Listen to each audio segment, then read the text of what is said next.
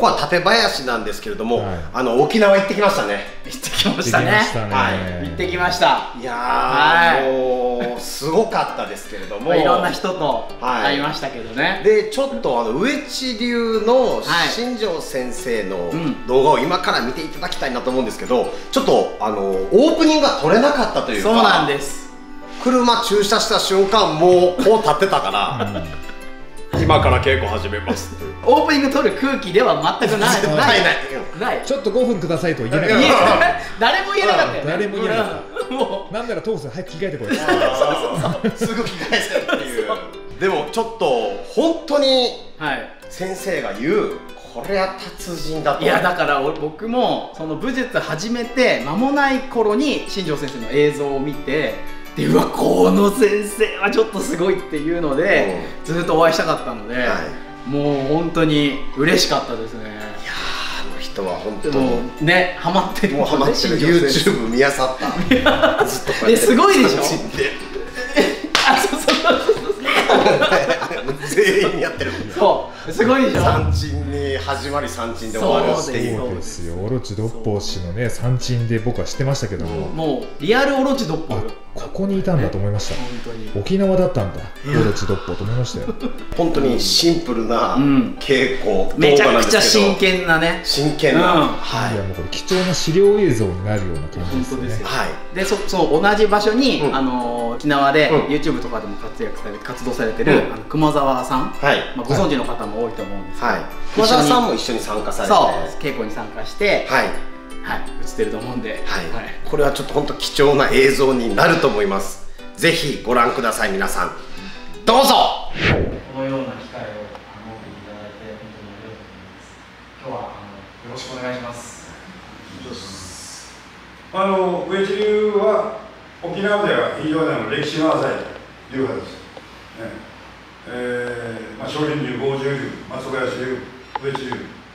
で、まあ、最近からオリンピックで流泳流が大手を歌いで、今沖縄の、えー、五大流派です。大きい流が5つありましてね、それが、えー拠点となって世界に195、約1億3000万の体外候補がおりますけど、えー、まあ、上地流は、えーどういうもんかといったら、まず、一番最初に型の名前で、1番からの8番、この8つしかありませんけどね、初代の先生が三鎮1番目、それから5番目の生産、それから8番目の三世流、この3つを中国に行って学んで、置き換えてみて、それを我々は、まあ、伝統的なパートとして、古典型として、今今も同じようにやってます。で今日はこの産地がもうメインですよね。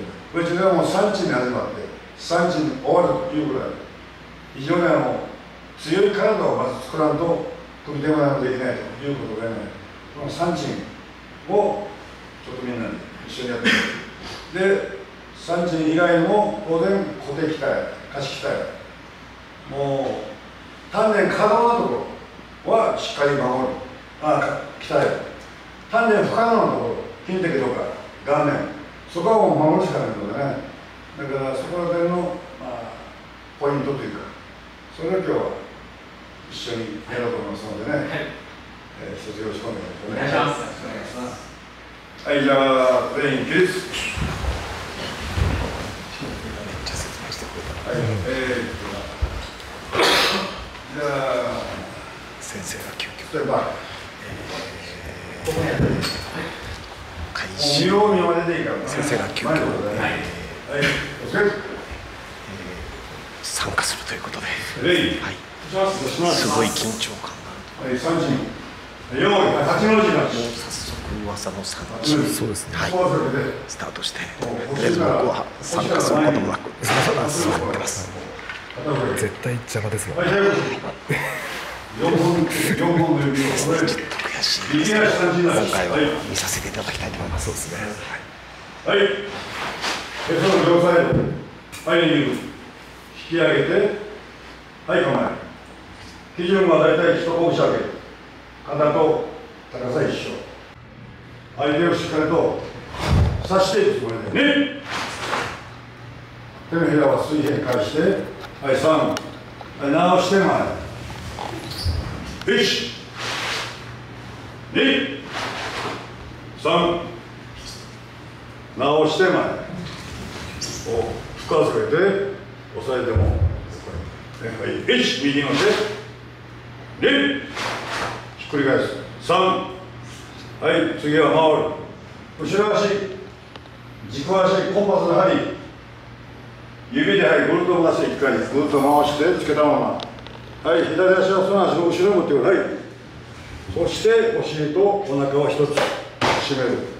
はい左手1引っ張る。2刺す。はい3直して前。外部からの物的な勝利蹴られてもね。蹴られても崩れんように。お腹もしっかりと腹圧を入れて負けないように。はい1 2 3直して前お外部からの物的勝利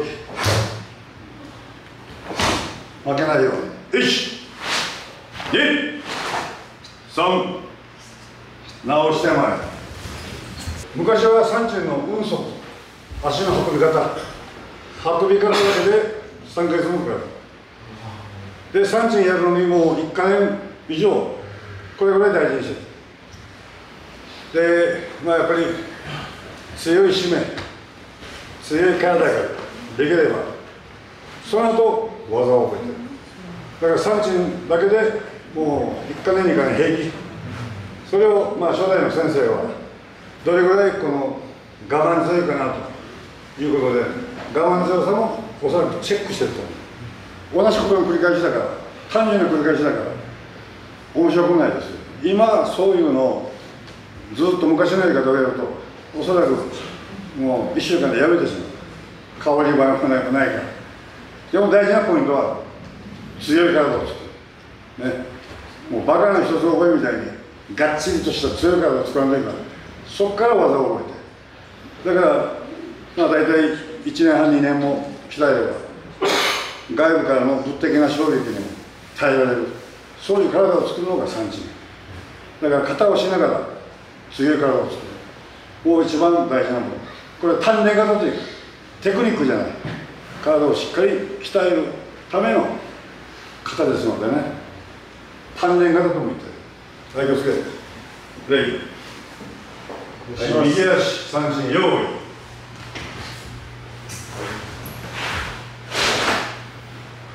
しっかりと打って外部からの物的衝撃負けない腕に関しても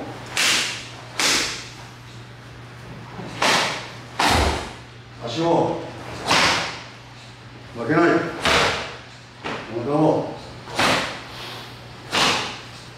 よし前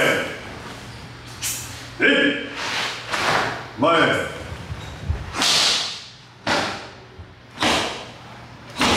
三前四回る下げてあばらを締めるそう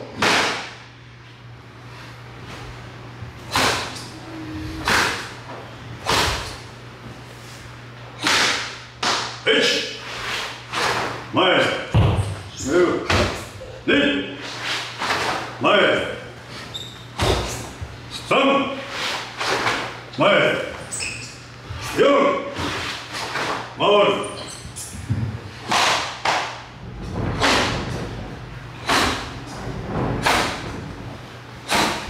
よし前2前三前四両手はいはいはい前移動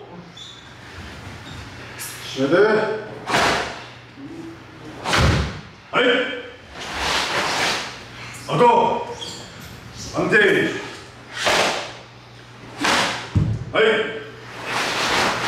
正面はい構えて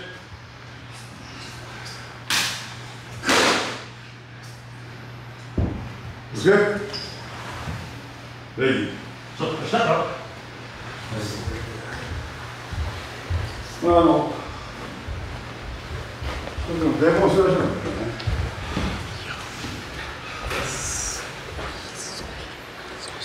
はい。なんか調子で。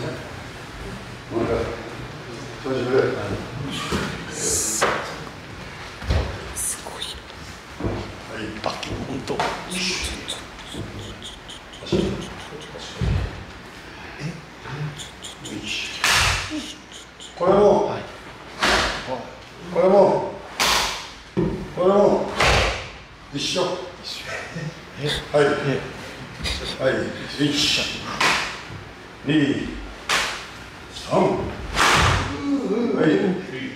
一、二、三。おお。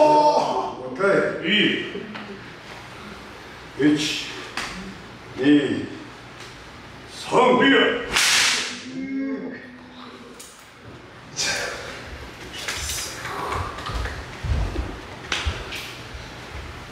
こういうのして、まあ大体はいやる。細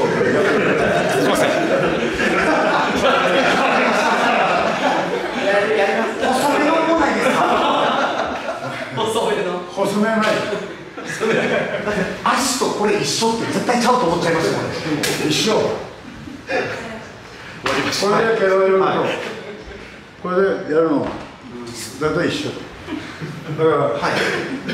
我我慢。慢できないというか。だからそれがもうその我慢が鍛錬でっていう。それが三チームという。鍛え方。はい。これはもう一番大事にしてる。強い体を作る。ねそれが大事なポイントそして、はい。こういうのも。ね。これもはい。母子剣というここで当てるあお試験はい。ついてくる、ね、こう。ああるから目に行く。あるいは当ててはい。スカンこれが母子剣という。肩の中には4本抜きてそれから強い締めで返し技要するに返しの手を開く。はい。開いた状態でやるのでこのこれもこれもそれなりの効果がないといけない技としては使える。はい。これも。ね、ここでしっかりそこで、ね、ここだけですはいどうぞ抜き手。これしっかりここでだから使えるようにしないといけない、絵絵に描いた文字じゃなくしてね、はい。だから型の中にある技は全部ちゃんと使えるようにする。これがお互いのまあ大事なポイント。ただただ、えーやるんじゃない。使える。使えるようになる。使えるからはい整列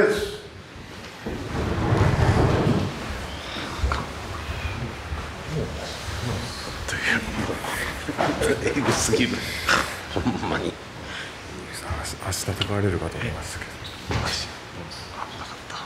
手越はい右足前はいお見事ださ圧力負けないよそうそうよこれは前からも当然後ろからもしっかりと沈めるよ。うにえー次は体の型はどういうものかと。い。うことでまず中国の方に一番左端の先生は中国福建省福山市のお寺の住職さんで彼が上地流の中国における先生。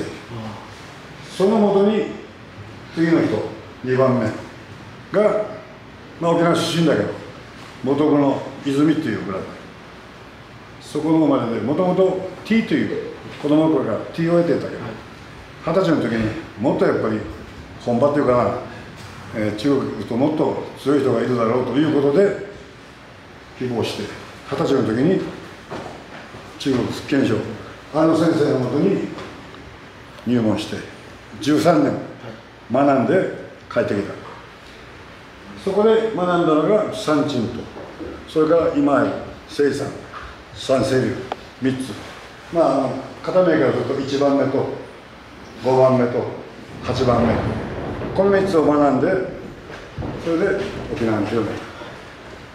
えー、もう古典型、ね、だから先生がせっかく持ってきたのをこれを変えたり、自分で作ったりというのはもう言語道断、この業業界では、今もうスポーツ体というのはどんどんどんどん進化していって、えーおそらく、まあ東京オリンピックで、えー2021年やったけど、まあ、今回パリはないんだけどね。おそらくパリで開催されるとなると東京よりもさらに進んだ体になる可能性があるんですよ、もうちょっとやっぱりオーバーアクションというか芽生えのいい技をはこの中に付け加えてね、そしてまあひねり入れたらもう羽生結弦だからね。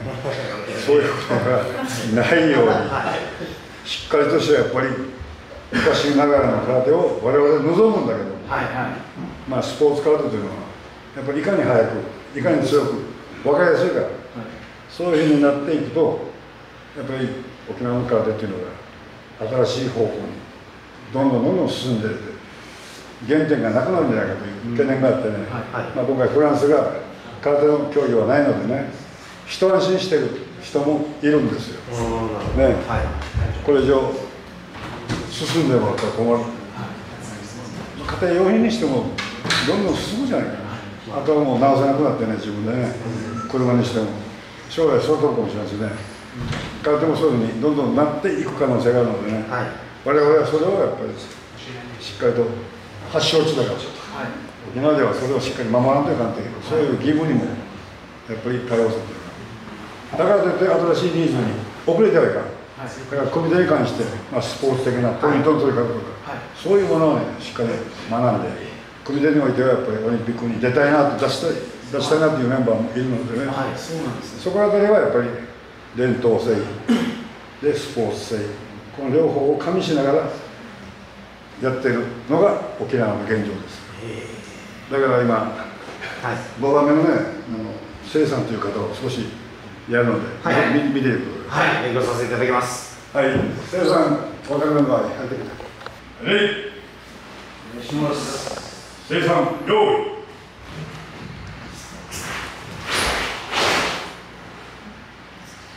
よし。二。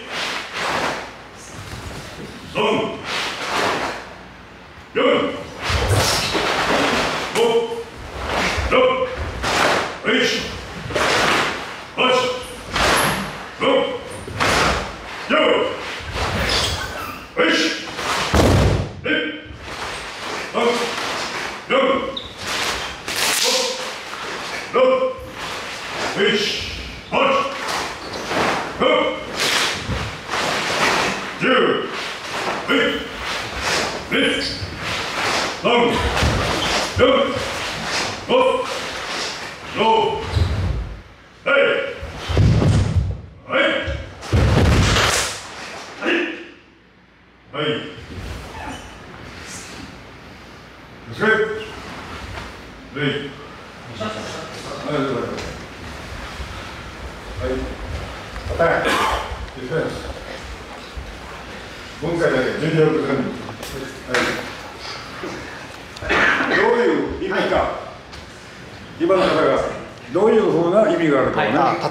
盆会という、はい、ちょっとあの方の意味を2人でやりますのでね、はい。はい、見てありがとうございます、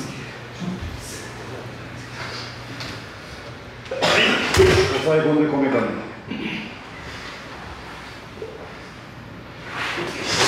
あれから目に。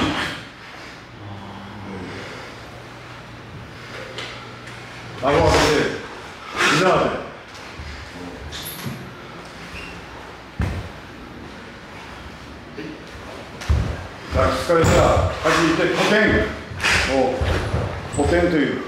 これで筋的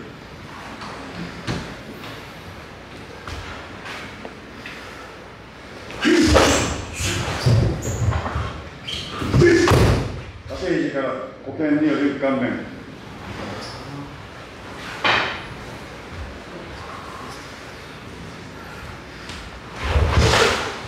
鉄水ハンマーパンチのね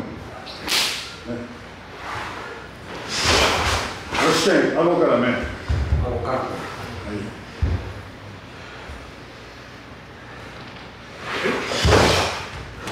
側線流膝当て押さえて正面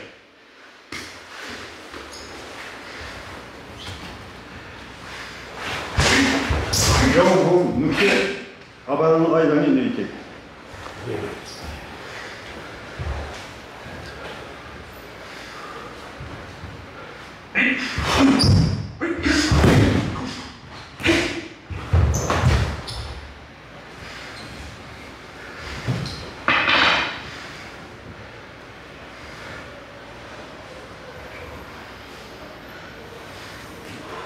型にはもうみんな分解がありますね。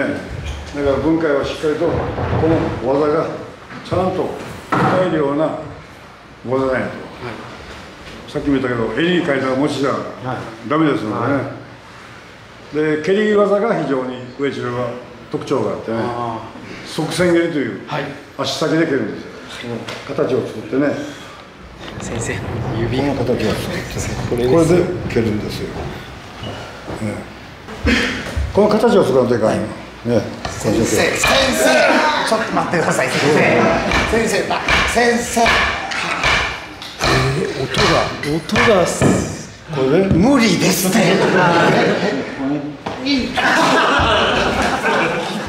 ああざした。帰んない帰んない。帰んないで。早い早い。帰んない帰んない。あざしたじゃない。ここで。痛かった？えここああダメだよこれ。だからこうしていつも会話しながら痛かった？こういう感じで時計しますねカニを立ってるみたいな音してるね。やったんですカニを立ってない。ここだけじゃなくこっちも全部。だから鍛えられるところははい。鍛える、ここは守るしかない。よここを聞いてここを守るしかない。ここを守るしかない。ある程度は、ここはもう二人とも我慢できるようにこれがもう特徴、ね、強い。体を作らんと戦えない。戦う時は必ず、どこと合うわけだからそうですよねまあぶつかり合い。喧嘩するわけだからね、はだからやっぱり多少は我慢できない。とじゃあ次はねこの鼓敵隊っていうのが、はいはい。貸し木隊というのがあってね、はいはい。お互い。手だけ。まあ普通の手ですよね。いやいやいや。普通ですよ。病院行った方がいいと思いますよこれ。すごい。あもうこれ。ありがとうございます。すいません。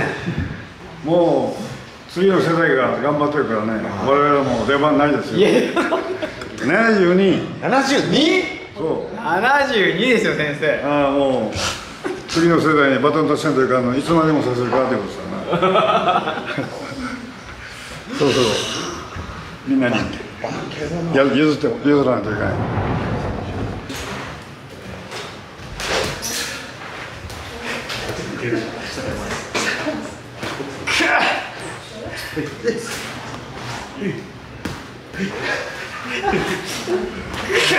はいやめ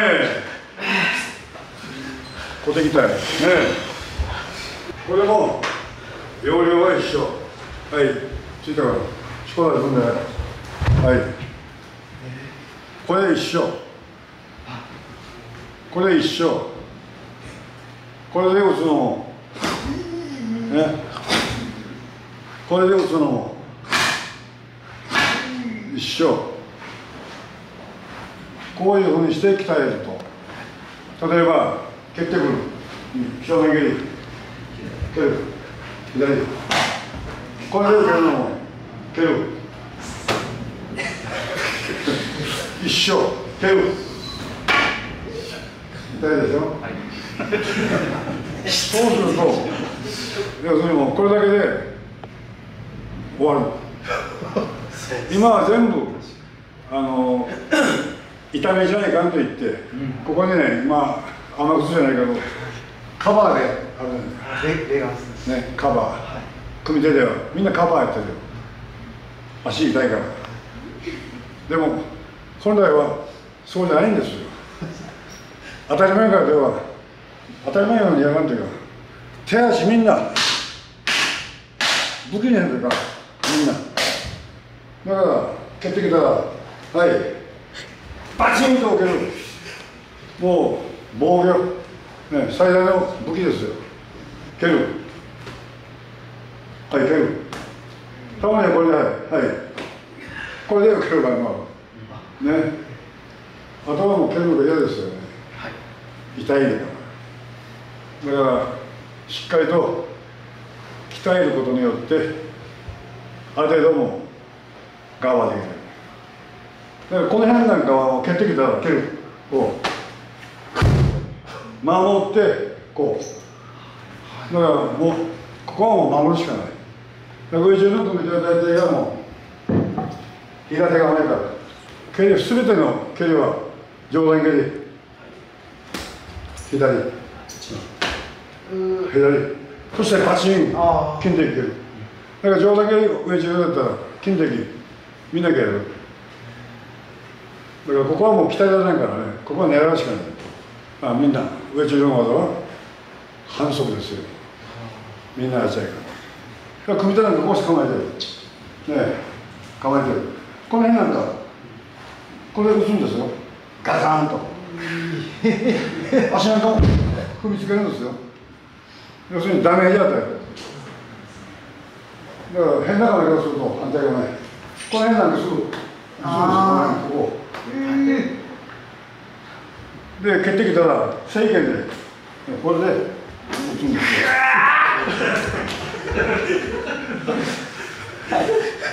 痛めるは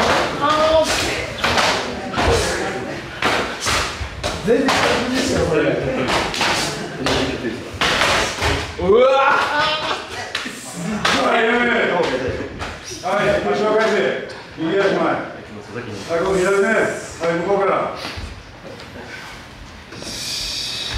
はい、1、2、3、4、5、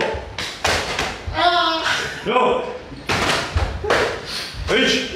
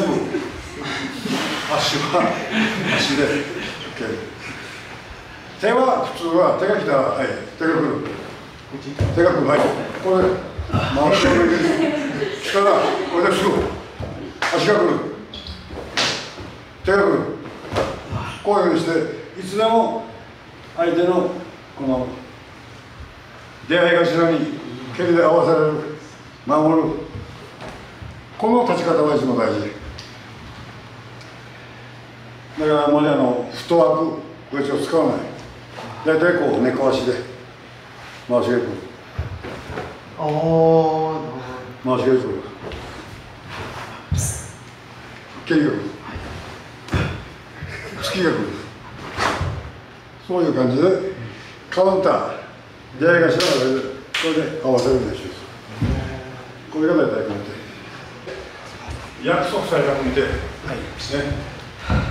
組手では使えないルールがある。はい。これを約束してるんですか？そうじゃないと技がなくなってしまうからね。この中で技を覚える。はいアタックディフェンス。一箇所だけでいい。オンリーワンこれ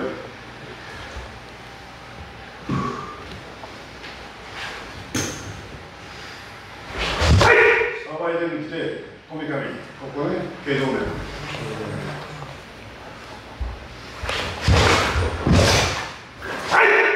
即戦蹴りさっきの蹴りはい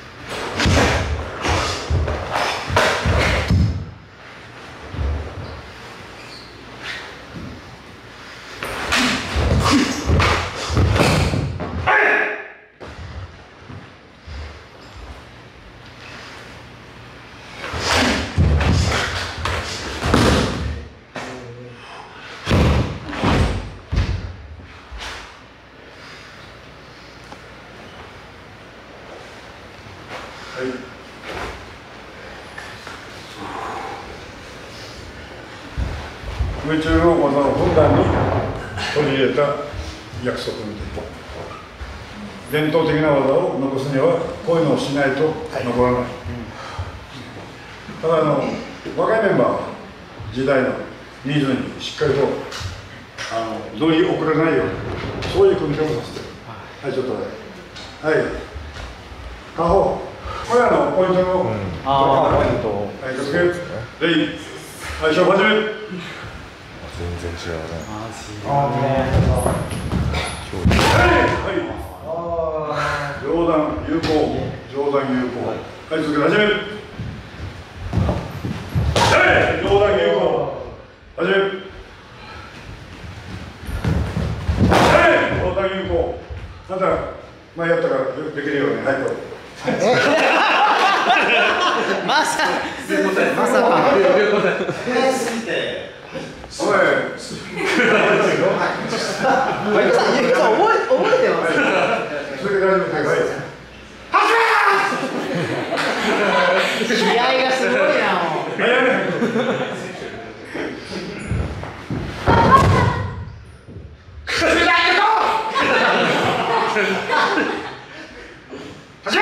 はい、やめ。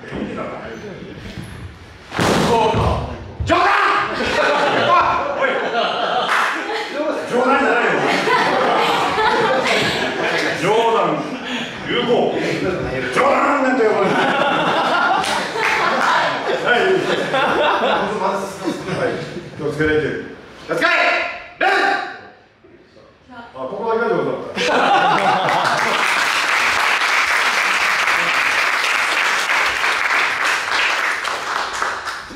優しい。よかった大丈夫か。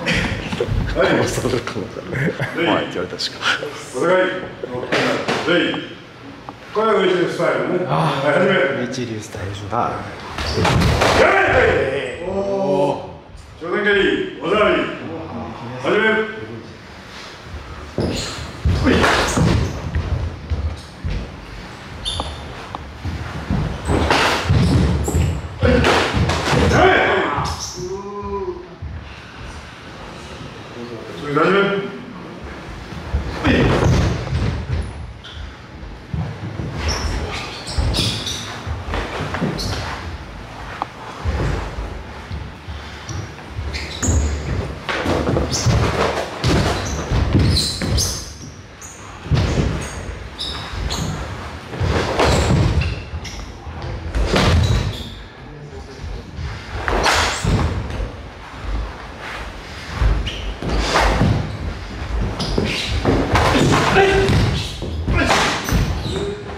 はいやめはい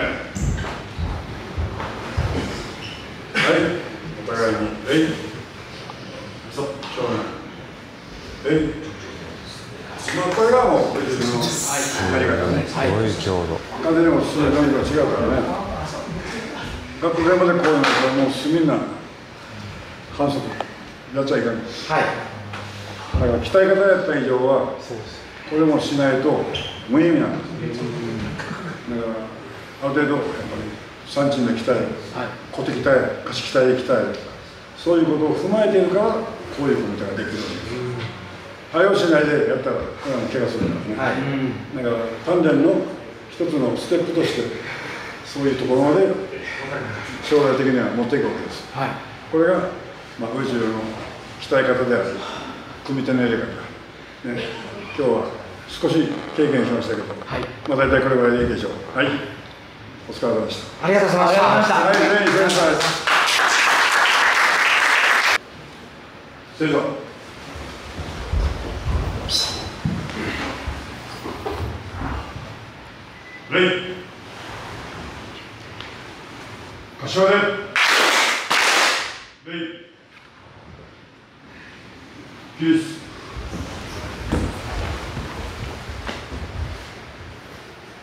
稽古終わります。レイ。え今日はえ体験させていただいてありがとうございました。はい、お疲れ様でしたお疲れ様でした。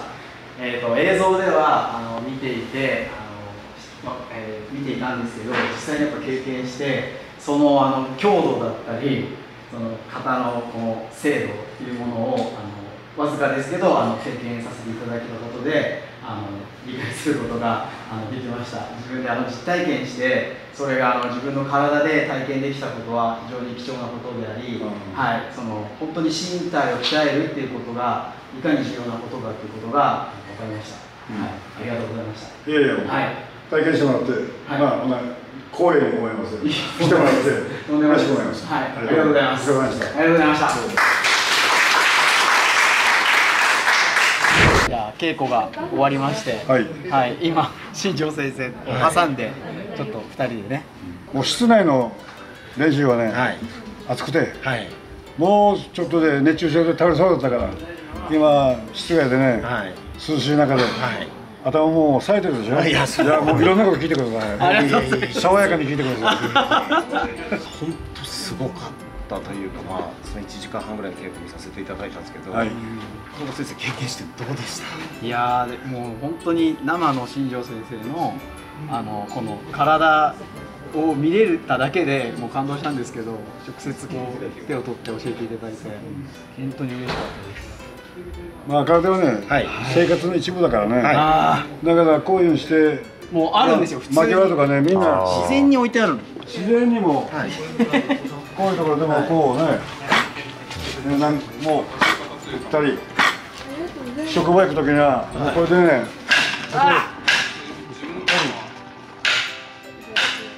とかいろんなもんをこう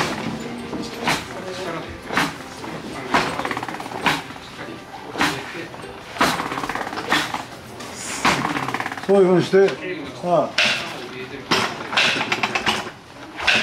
生活の一部として。はい。やっぱりどっか行く時には必ず。通り道あ、ここ通り道でそれをやられながら通るいやいや、外に行くと、はい。いつ何があるかわからんから、はい。だからいつも当てておかんといかん。いつでも対応できるために当てるわけですよ。先生はこの V 鍛錬をされていて、まあ、当然あの最初の頃ってあのだんだんとこう慣らしていったわけですよね。そうですね。あやっぱり握り方とか、ーはい側線でもこの足のはいはいはい作り方とか、はい形がやっぱりできないと、はい不十分な形ではね、はいこれ武器にならない。はいしっかりした武器、しっかりした武器、形を作る。それで当てる。いきなりこう硬いものじゃないよ。やっぱり最初は柔らかいもん。ああやっぱそうなんですね。柔らかいもんから。で徐々に硬いもんというか人間でだって当てる時にまあお腹なんかはい。やる場合もあるしね、はい。場合によって頭硬いじゃないですか、はいそうですね。あれは膝当てる場合もある。はい。だから硬いところを当てる場合もあるし柔らかいところを当てる場合もある、はいだから両方に深い量に。で硬いものを当てる。三六も当てる。うん。あるいは空間好き空間を作るはい。そういう練習をしておかんと。いけませんね。型だけじゃいかんやっぱり。はい。実は物当てないと。はい、先生はこう V ターンにされていて今現状い痛く痛みを感じることあるんです痛みはありますよ。あるんです。ただあの普通よりは我慢強いという。ああそうなんだ。心情はね。はい我慢するのが心情なんですよ。素晴らしいです。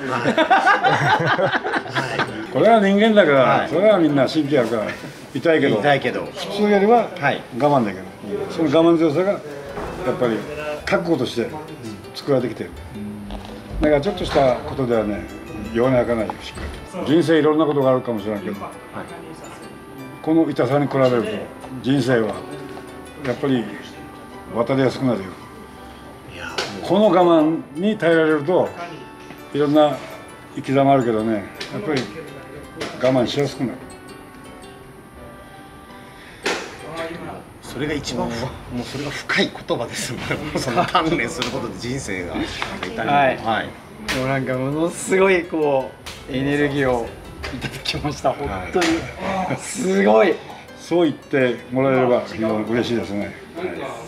感動してます、はい本当に出ていただいて本日ありがとうございます本当にあの出ていただけると思わなかったので、あの山城山城先生もありがとうございました。ありがとうございましたピースじゃないんですよ。すごいんですから。またぜひはいあの引き続きよろしくお願いします。わかりました。また機会があればはいできる範囲ではい協力させてもらいます。ありがとうございます。はい本日はありがとうございましたありがとうございましたはい、とんでもないです。はいどうも。